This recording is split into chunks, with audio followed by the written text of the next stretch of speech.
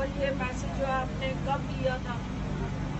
कल आया तो इन पैसों का क्या करेंगे? आठ बच्चे हैं। आमद क्या करता है इस काम के अलावा